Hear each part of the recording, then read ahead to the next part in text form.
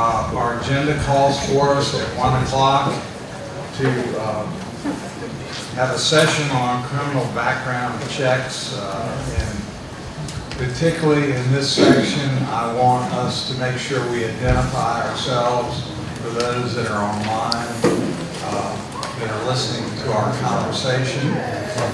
So to get it uh, started, we'll turn to our legal counsel, Katie Cornetto, to uh, uh, give us the background of where we are, and along with Superintendent Atkinson, to suggest some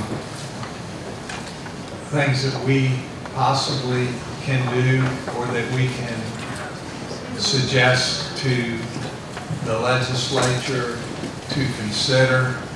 Um, This will be a discussion today. We won't take any action today or tomorrow.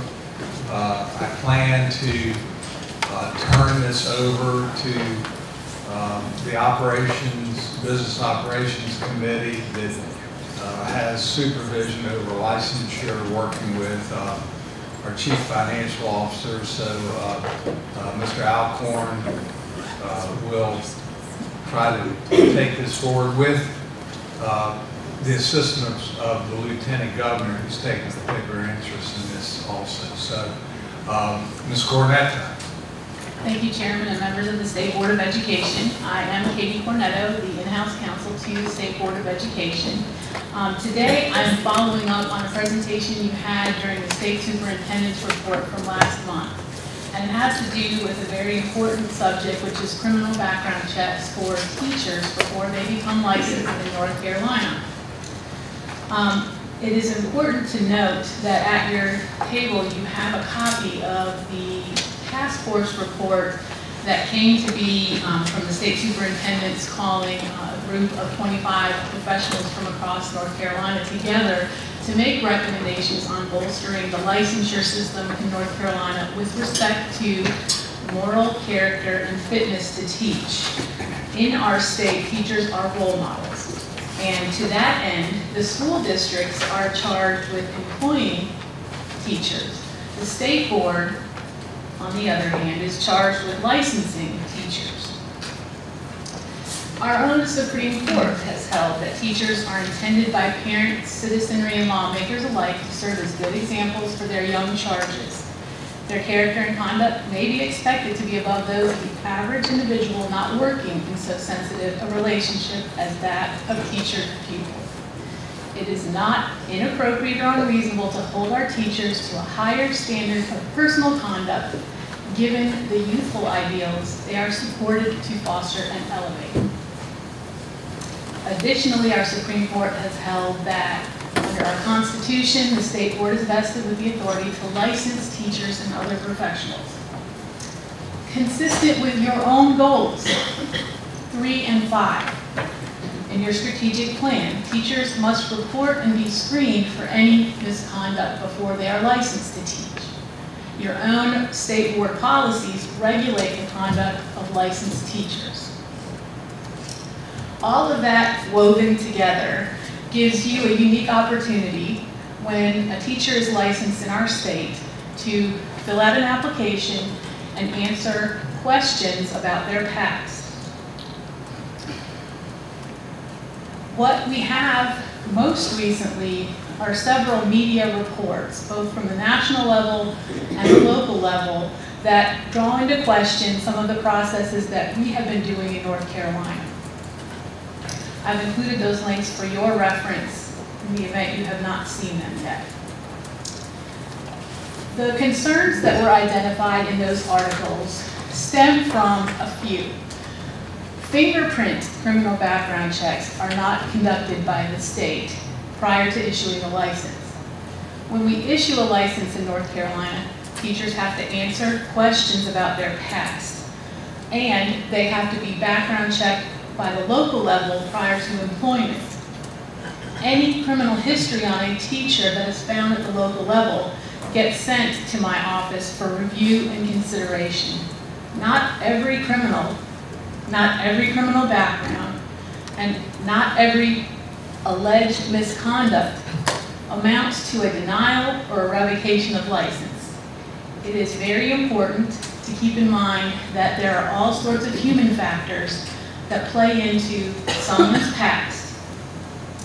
That being said, one of the concerns that was raised by the media was that local criminal background check policies for employees vary from district to district across our state.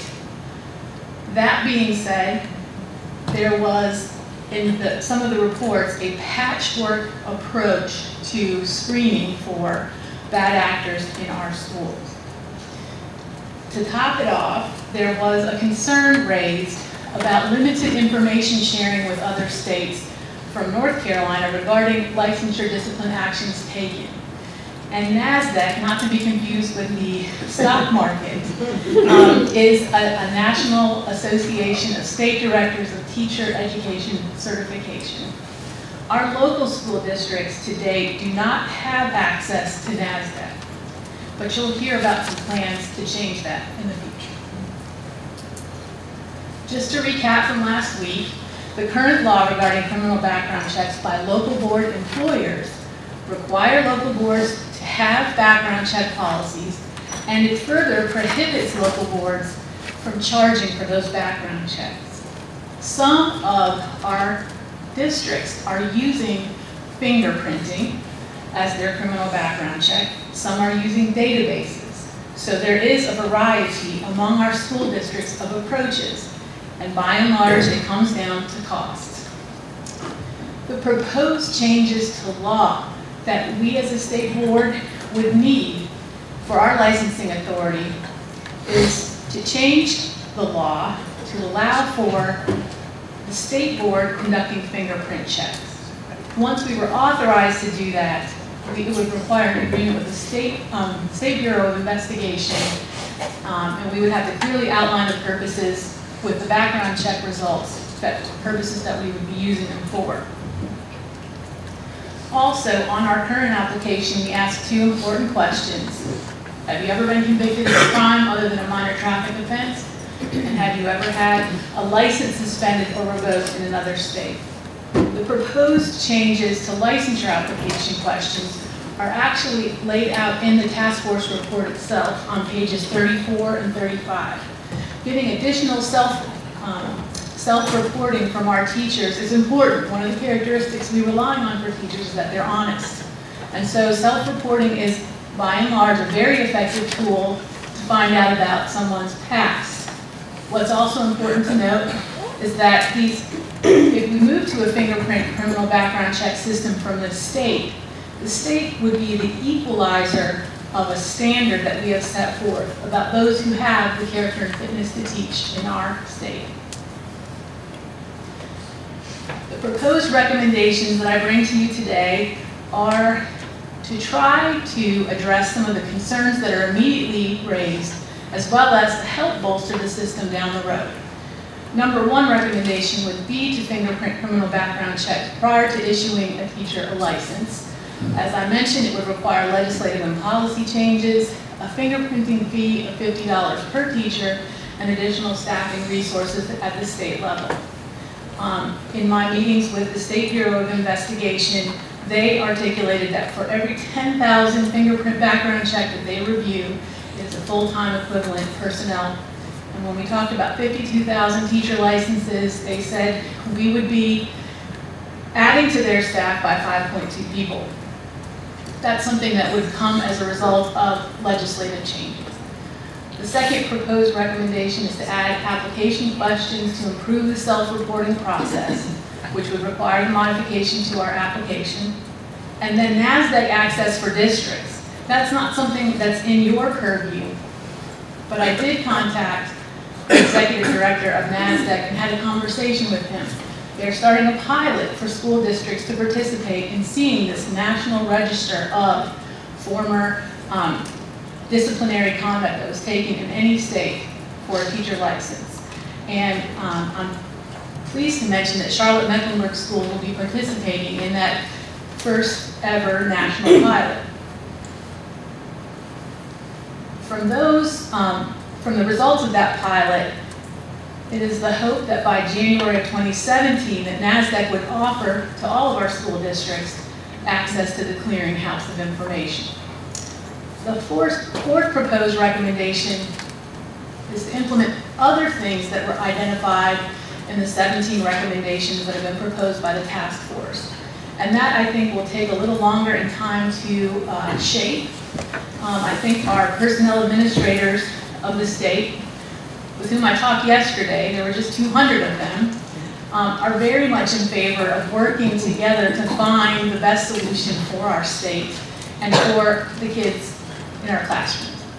I'm happy to take any questions. I should know this, clarification. Uh, Mr. Alcorn, On number one, the uh, estimation of the 5.2 FTE uh, for that, is that uh, doing 50,000 uh, background checks per year?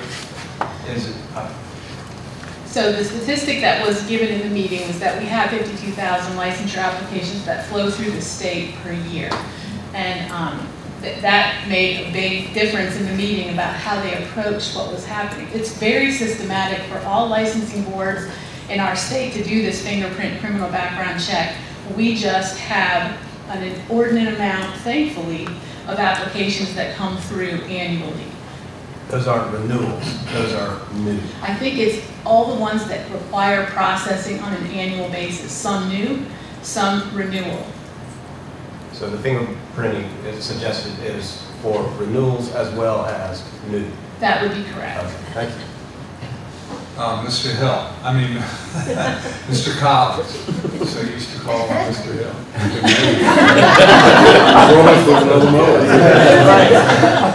Separated at birth, okay.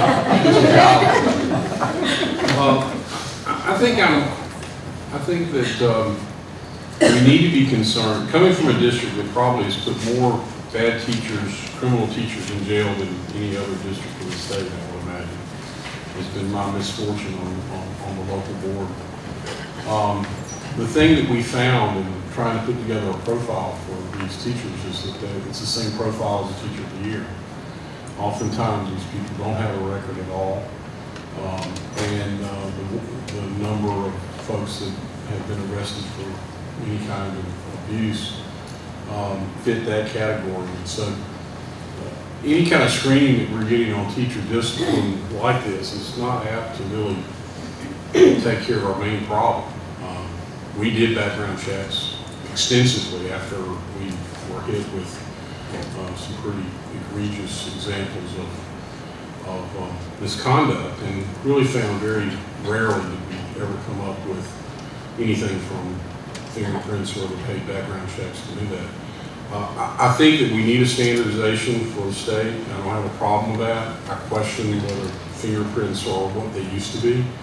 Um, We all can get on the program called Intelius and find out everything about each other here as we're sitting here uh, down to bank accounts and all kinds of other stuff. So I, I think there is probably a better way of, of, of, of assessing, accessing that information than just a SBI background, uh, fingerprint check. But I'm not an expert in that, and I think we need to look at, at folks and ask that question.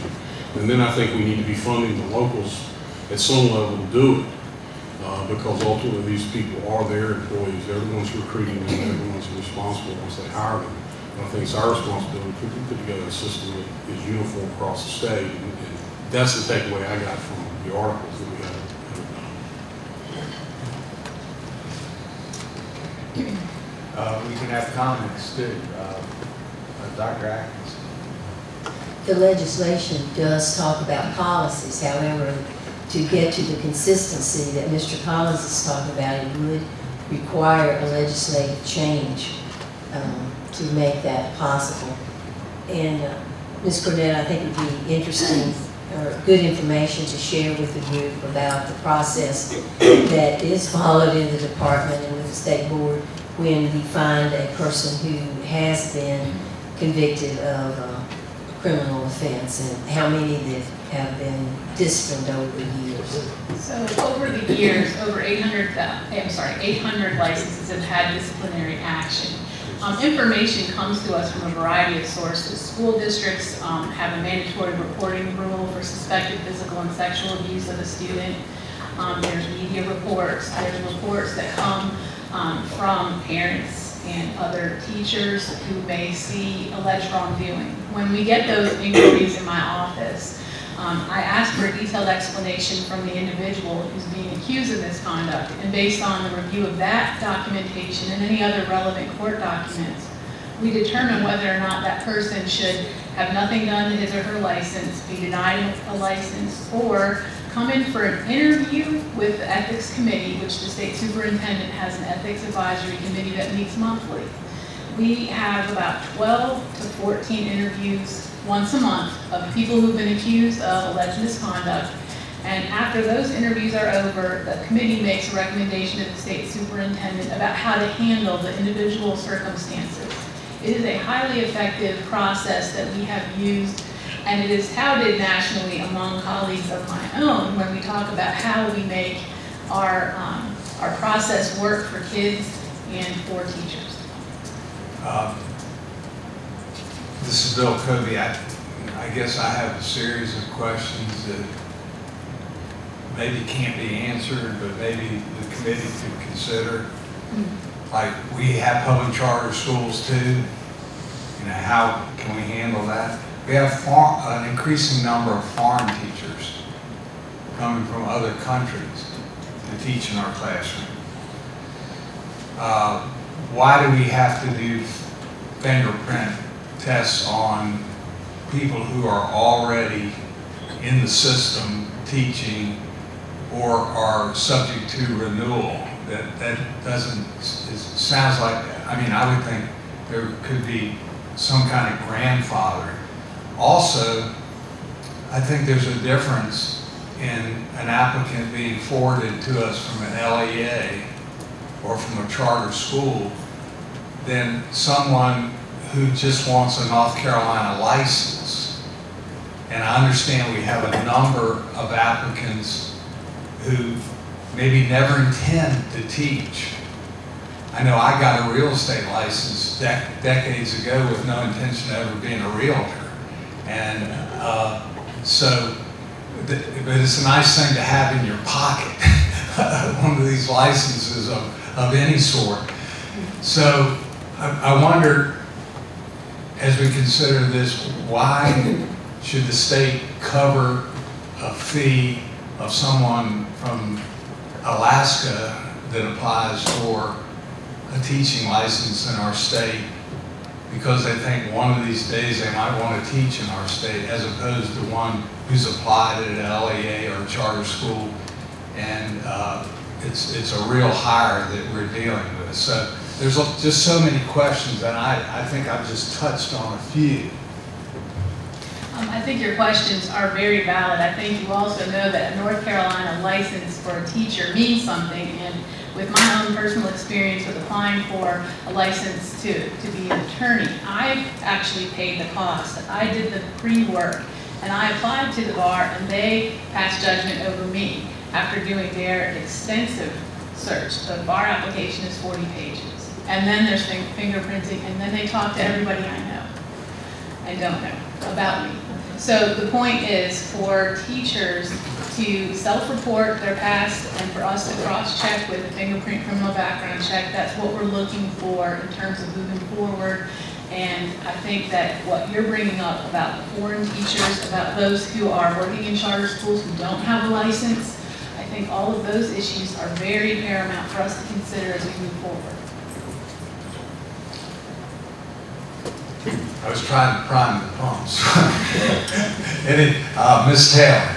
Well, I don't know where to begin, but, um, you know, there's the whole, you know, do you charge teachers more? You know, they're already paying for their education, blah, blah, blah. But I mean, if you're talking about fifty dollars, and this could be a career that they're going into, and we're thinking of our students, who we do hear there's a lot of misconduct, and, and if we're the licensing agency, are we negligent if we didn't find that out before we gave them a license?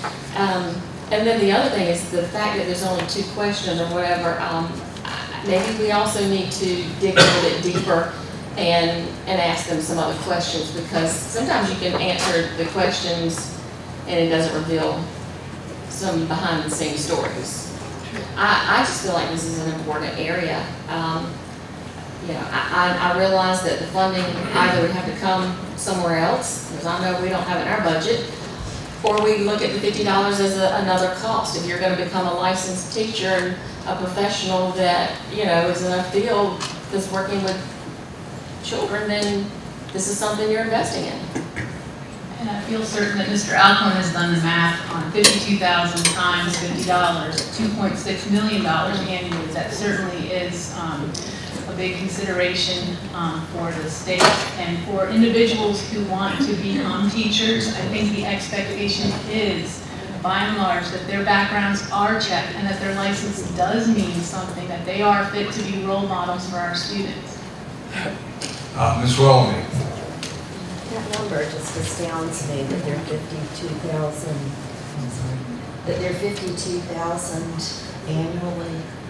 So total, I believe there's 100 to 125,000 in the state that are licensed. But Right. What we touch annually, whether it's an add-on of an area, whether it's initial license, whether it's reciprocity, whether it's renewal, um, th- that's the number that was quoted to me from the department, and um, I I definitely, we can dig deeper on what that actually means. Well, just as we try to project what the cost is gonna be, I think that's certainly important. And uh, where the fifty dollars goes, um, I know you said the SBI gave you some figure for how many additional employees they would need. And I think the other question, uh, to your point, as a licensed attorney, um, there are other states where you could move and be licensed by paying a fee. Um, And so do we have, when we look at other states, you mentioned the NASDTEC, um, they, you know, database.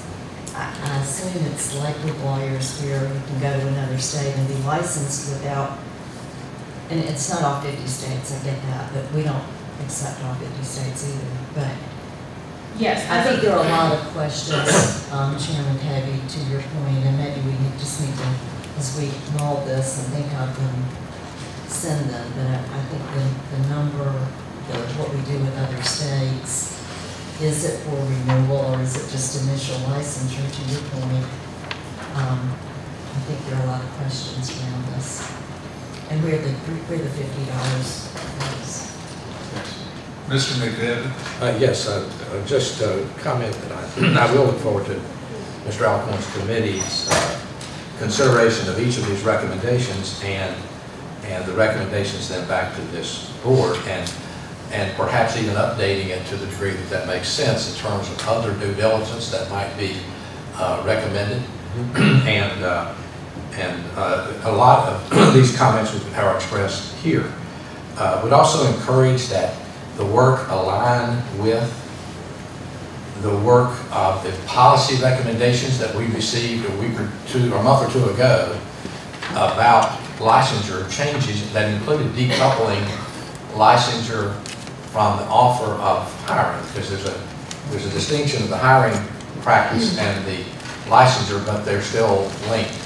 Uh, So that seems to me to be something that, uh, and then, let's face it, we've got a licensure backup, a serious backup that uh, the the superintendent is keeping us informed about, but that too should be a consideration as part of that. And then uh, finally, I guess this is a question to the chair, do you anticipate uh, those places where, that would require statutory change, do you anticipate uh, there being recommendations uh, for the short session uh, that begins before we meet again, but it doesn't end before we meet again, but uh, there are some statutory changes that uh, are part of this that are part of the consideration. And some of that, of course, is budgetary. Well, Mr. McDevitt, that's why I referred to the Lieutenant Governor, because I think he's taken a special interest in this, and that he may be working with the staff of the General Assembly to come up with some legislative proposals. So, uh, in that regard, of course, I'm asking uh, our legislative liaisons and uh, Mr. Alcorn and his committee to engage the lieutenant governor so we all can pretty much stay on the same page as we go forward. And of course, he doesn't need our authorization to get a sponsor over in the General Assembly, but it always works better when we're conferring.